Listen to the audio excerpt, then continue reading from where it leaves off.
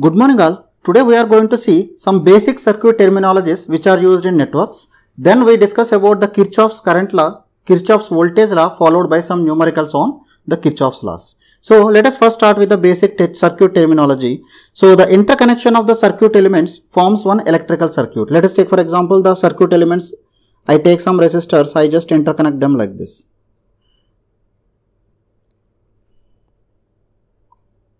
So I have made some interconnection like this. So I connect some voltage here. So this forms one circuit. So this is called as a circuit. So what is the definition of a circuit? It is the conducting path through which an electric current either flows or intended to flow. That means I design some circuit or design some equipment through which I want my current will flow. So that is called, called as a circuit. So Parameters. The various elements of the electrical circuit like resistance, inductance, capacitance are called the parameters. So these parameters can be either lumped or distributed. What does it mean? The basic elements in electrical circuit will be the resistance, inductance and the capacitance. So interconnection of these things forms your circuit along with the voltage sources. Now if you take your transmission line because you may see the towers when you are passing through the road, the towers will spread throughout a long distance. So in the towers, so if you take the tower, so the conductor will be there. The conductor, the resistance is distributed at every point and along with that the capacitance also will be found between two conductors as well as conductor to earth and similarly there will be inductance also. The inductance also goes on adding. So at every point there will be a conductor in the conductor, there will be inductor, resistor as well as the capacitor. So, we can tell that there the elements are completely distributed over the entire distance. Whereas, if you take the small circuit, generally the elements will be lumped. Lumped means at a single point. They are concentrated at a single point. For example, if you take a resistor in the lab, you will observe the resistance is having a very small size. So, in that small size, the entire resistance is there. That is called as a lump. Whereas, if you take the transmission line where your resistance, inductance and capacitance are distributed or spread over long distance, so they are called as the distributed elements or distributed parameters. Let us now see what is a linear circuit. If the circuit parameters are constant, what is the meaning of constant? They do not change with change in voltage or current is called as a linear circuit. That means whenever I am changing my voltage, the current will change linearly or the graph between the voltage and current is linear if you are changing the voltage if your current is changing linearly where your slope is equal to constant then we tell that this circuit is a linear circuit. So if that this doesn't happen then the circuit is called as a non-linear circuit. The parameters are not constant. For example if you take a diode so if you take a diode you have studied your diode in plus 2 this is my diode. So this diode characteristic is if you do the forward bias that means this side plus and this side minus it will start acting as a short circuit. So in the forward bias direction, you will get your curve like this. Whereas in the reverse bias, it acts as a open circuit. You can see it is not following the linear relationship. With respect to change in voltage, the change in current, the slope is not constant in this. So this circuit is called as a non-linear circuit. This is the example of non-linear circuit. The example of linear circuit is if you say take a resistor. If you take a resistor, as you are changing the voltage, the current also will change linearly. So this is the case for a resistor. This is called as a linear circuit. Now let us see what is bilateral circuit. Bilateral circuit is a circuit whose properties or characteristics are same in either direction. That means whether you connect one side or the second side, the total overall effective value or the characteristic is not going to change. Let us take for example, I take some circuit like this. So if I apply the voltage here, so if you take the output voltage V0, whatever output you get, similar thing you will get even if you are interchanging. That means you connect your input to the output and output to the input, then your characteristic or the circuit behavior will not change. The example of this is your transmission lines. The unilateral circuit, a circuit whose properties are not same in either directions is called as unilateral circuit. Example is the diode. We know in forward bias it acts as a short circuit and reverse bias it acts as a open circuit. So characteristics are not same in both directions. Those are called as unilateral circuits. Then passive and active circuit, a circuit which doesn't contain any source of EMF is called as a passive circuit. If it contains any source of EMF or current in that, then that is called as the active circuit. So let us now go to the any circuit if you take, we define different terms so that the analysis will be easy. They are the first one, the node. Node is a point where two or more elements are connected together. And path, the path is a movement through elements from one node to another without going through the same node twice. We should not go through the same node twice, then that is called as path. A branch, a branch is an element or the number of elements connected between two nodes. If you take two nodes, whatever elements are connected between those two nodes, that is called as the branch. Then comes the loop. A closed path for the flow of current is called as loop. Loop is nothing but a closed path for the passage of current. Then mesh. Mesh is also a type of loop that does not contain any other loop within it. That means that doesn't contain any other loops within it that is called as a mesh. Let us take one example. I am taking one circuit. You can see here wherever the junctions are there, junction points. So these junction points are called as nodes. So in this circuit, this A, B, C, D are nodes. A, B, C, D are nodes. So what is a branch? The branch is the elements that are connected between two nodes. In this case, the branches are R1 is one branch, R2 is one branch, similarly R3 is one branch, R4 is branch and R5 is branch. So if you take the branch, the branches are R1, R2, R3, R4, R5. These are the branches. Let us now see what is a loop. So loop is defined as any closed path for the passage of current. So you can see here the closed path for the passage of current. This is one closed path. This is also one closed path. Similarly, this is also a closed path. This is also a closed path for the passage of current. So all these are called as loops. So loops I am defining in terms of the nodes. So this becomes A, B, C and coming back to A. This is one loop. Similarly, I am starting from A, going to C, going to D and back to A. This is another loop. There is another loop. I am traveling from A, B, C, D, A. I am forming a closed path. So these are called as the loops. So what is mesh? Mesh is a loop that does not contain any other loop within it. So you can see the loop A, B, C, D, A. That means this outer loop. This loop is containing two loops inside that. That means further small loops can be found within that. So this is not called as the mesh. So there are only two meshes. One is A, B, C, A and the second one is A, C, D, A. These are called as the mesh. So let us now go to the Kirchhoff's current law. So Kirchhoff current law states that the algebraic sum of the currents meeting at any junction at any instant is equal to 0. So KCL satisfies the physical law of conservation of charge. That what is law of conservation of charge? The charge can neither be created nor destroyed or if you take at any particular point the charge entering will be equal to the charge leaving. So from this I can tell that if the current entering if I am taking as positive so in this circuit you can see current I1 is entering, I2 is entering and I6 is entering. So I1 plus I2 plus I6 then whichever is leaving this should be equal to whichever current is leaving. What current is leaving? The leaving currents are I3 I4 and I6 is also leaving. I6 is leaving or I5 is leaving. Sorry, I5 is leaving. So, three currents are entering and three current are leaving. Or we can tell that the sum of the current at any junction is equal to 0. So, I can write the current entering is I1 plus I2 plus I6 minus I3 minus I4 minus I5 is equal to 0. So what you have to do, whichever current is entering, if you are taking as positive, then current leaving you will take as negative or current entering should be equal to current leaving. Then let us go to Kirchhoff's voltage law. So Kirchhoff's voltage law states that the algebraic sum of the EMFs and product of resistance and current in any closed path at any instant is equal to 0. So mathematically the sum of the EMFs plus sum of the voltage drops will be equal to 0.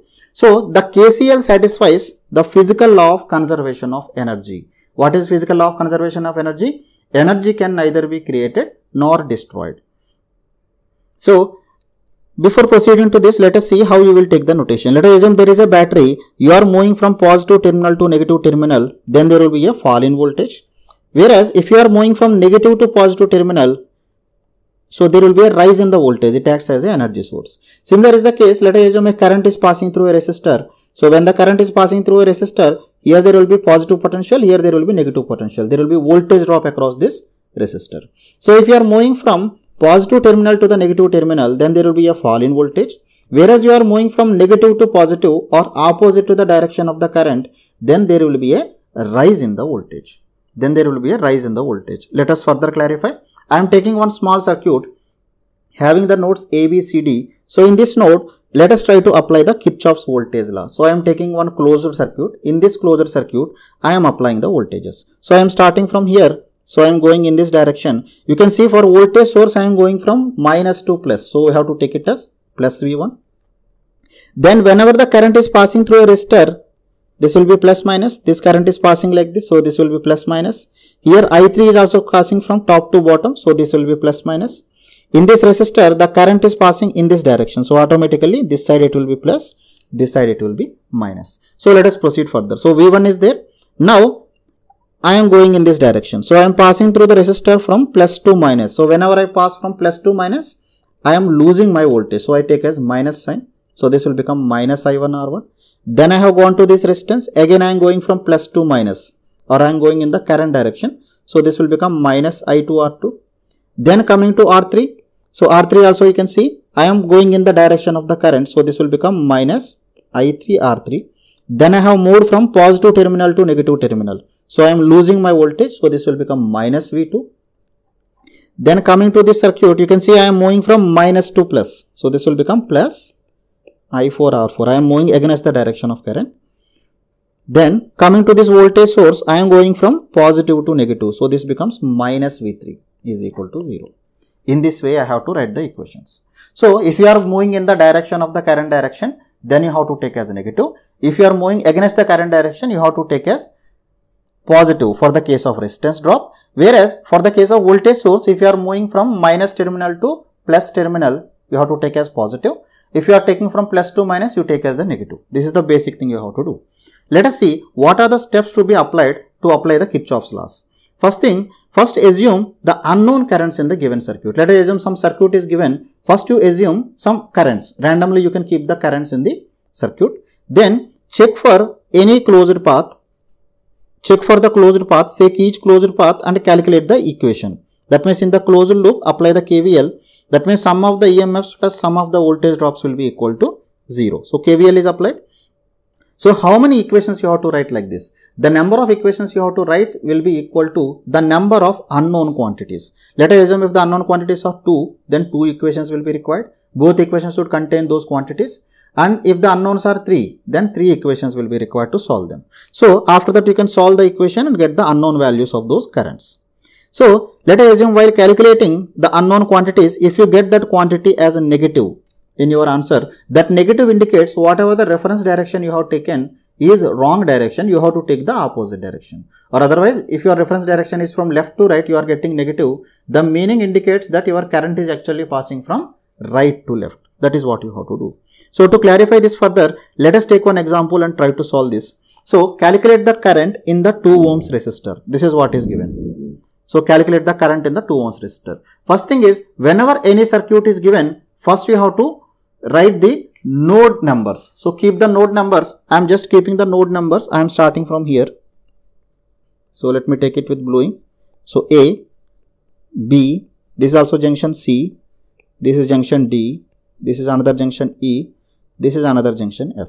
So I have written the nodes. So after that you have to note the currents. So let us assume the current is supplied by this voltage source. I am taking as I1. So let us assume the current is supplied by this voltage also. This I am taking as I2. So I1 and I2 are coming at the junction. So apply the KCL at this junction. So KCL at the junction indicates the current entering is equal to current leaving. That means I1 and I2 are coming here. So they should leave from here. So I1 plus I2 will leave.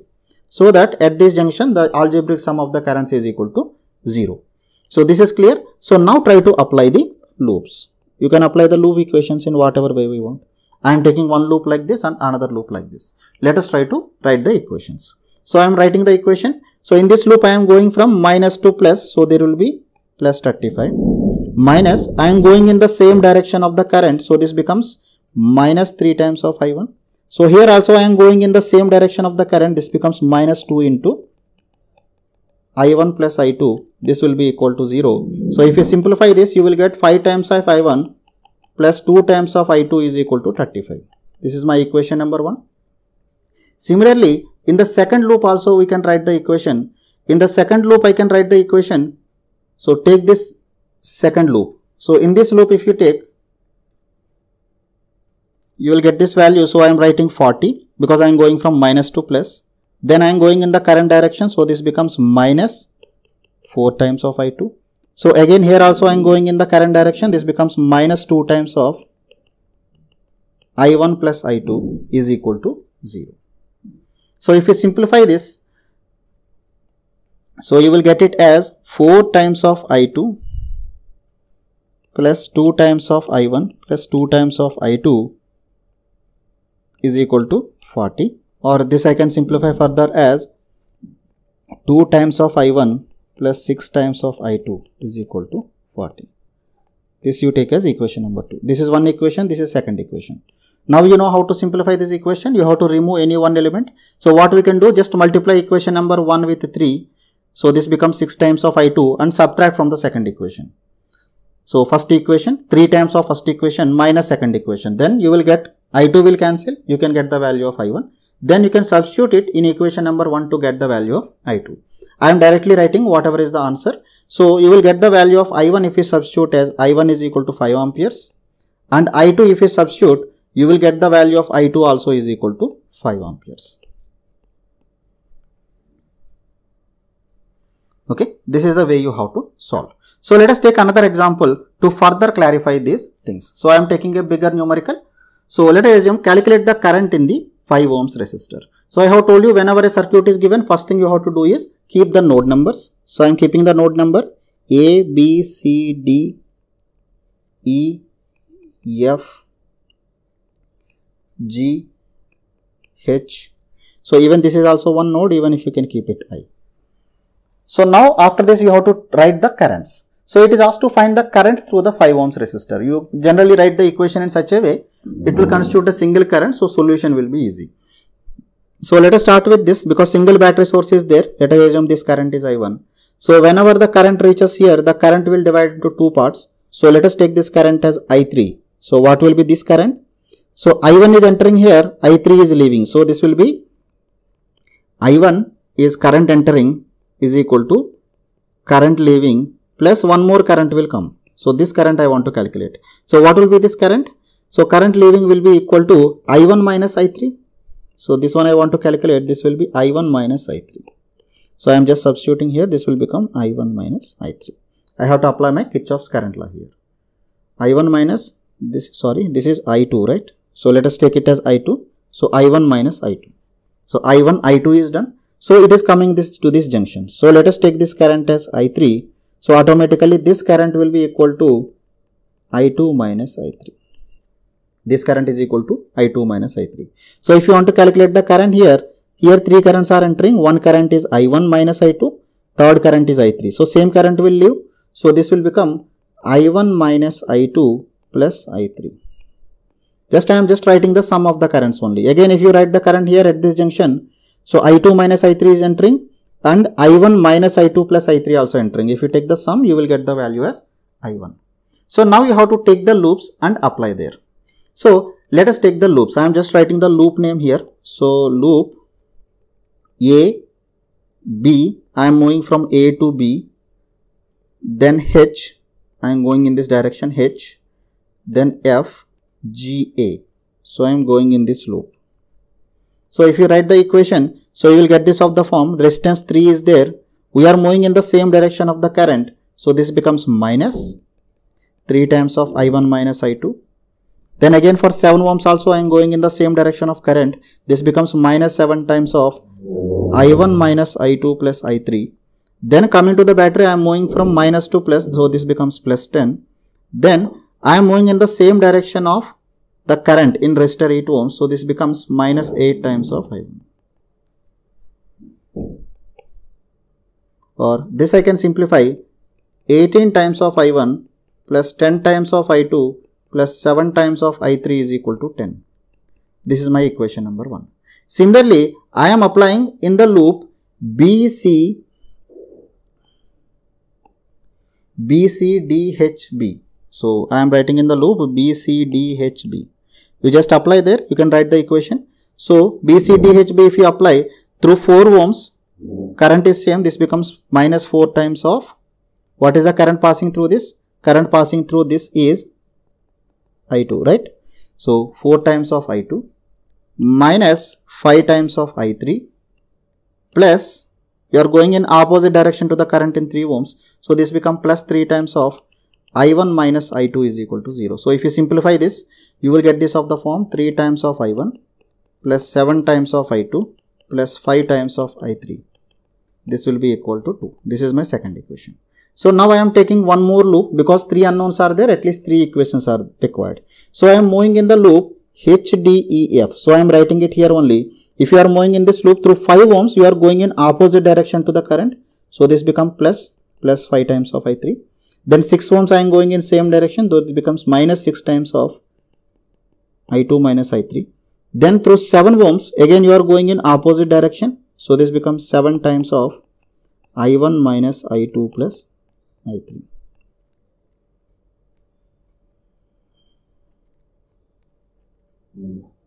This will be equal to 0. This is the equation. So I am just simplifying this equation and writing here. So the third equation will become minus 7 times of I1 plus 13 times of A2 minus 18 times of A3 is equal to 0.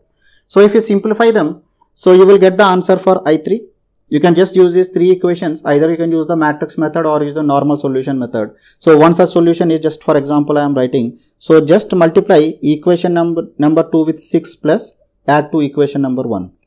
So you will get it 32 times of I2 plus 37 times of I3. This will become equal to 10. So similar way you can get this equation number 2 multiplied by 7 minus equation number 3 multiplied by 3.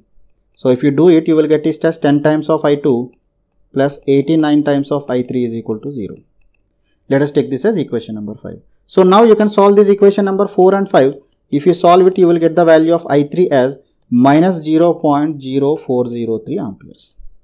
You can see here that I3 is coming as minus 0.0403. So what is I3? I3 you have taken from D to H. So when you take D to H, it is coming negative. That means actual current flows from H to D. That is the indication of this and magnitude is same. That sign indicates whatever the notation you have taken is opposite. So, you can tell that the direction of the current passing through the 5 ohms resistor is from H to D and having the magnitude of 0.0403. I hope all these things are clear to you. If you still have any queries, you can leave your comments in the comment section below. I will answer to your queries from there. Thank you. Thank you very much.